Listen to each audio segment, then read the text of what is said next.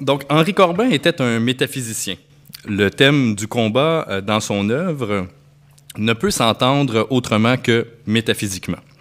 Suivant cette importante mise en garde, je ferai un tour historique de l'évolution du thème du combat en retraçant les premières occurrences. Je précise que je ne vais pas aborder la justesse des interprétations corbiniennes en lien avec la philosophie islamique, seulement les organiser et les décrire. Ensuite, je vais interroger la perspective philosophique euh, de l'auteur autour de la notion de combat. Mon objectif est de présenter l'évolution du thème du combat, mais surtout le rapport de Corbin à celui-ci, notamment en relation avec son protestantisme. Dans un dernier temps, je vais traiter du militantisme métaphysique de Corbin, période qui débute approximativement au début des années 70. Un engagement métaphysique qui m'apparaît beaucoup plus proche de son protestantisme que d'autres choses. L'expression du combat.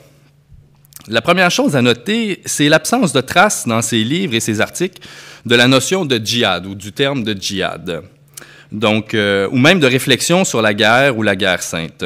Cela dit, si dans l'œuvre écrite de Corbin cette notion est absente, il existe un enregistrement audio où Corbin parle du djihad.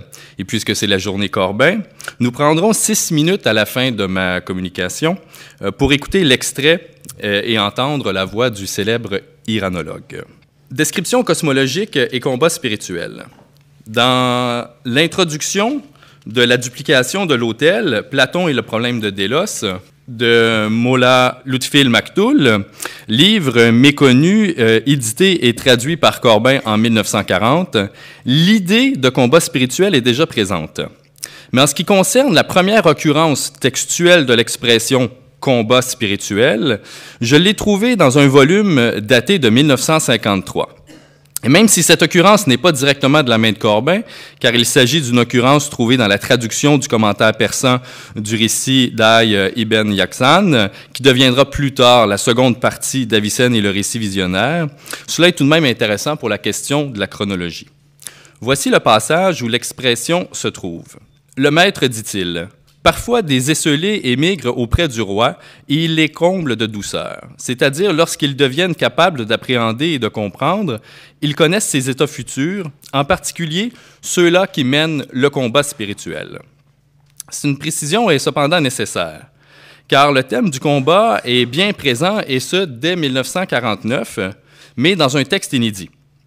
Donc, dans les morceaux repris de Combat pour l'ange, dans sa conférence Eranos de 1951 sur le temps cyclique dans le masdéisme et l'ismaélisme, l'expression euh, combat spirituel n'y figure pas, elle, directement textuellement. Donc, que signifie Corbin lorsqu'il utilise l'expression combat spirituel? De manière générale, il s'agit du combat contre soi.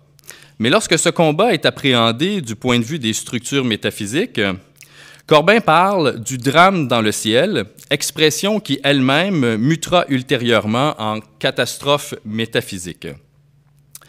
La mytho-histoire, lire ici euh, hiéro-histoire ou euh, méta-histoire, puisque le terme mytho-histoire est inspiré euh, de ces lectures de Mircea Eliade à cette époque-là, puisque l'extrait date de 1949.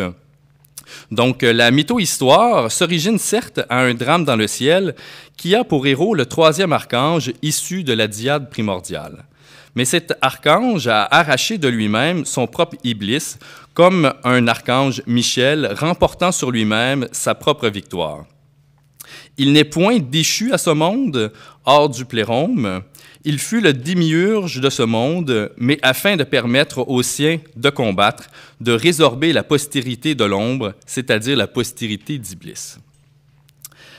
Cet aspect du combat de l'ange, en lien avec la dramaturgie cosmogonique masdéenne et ismaélienne, fut exploré par Corbin essentiellement dans la décennie 45-55.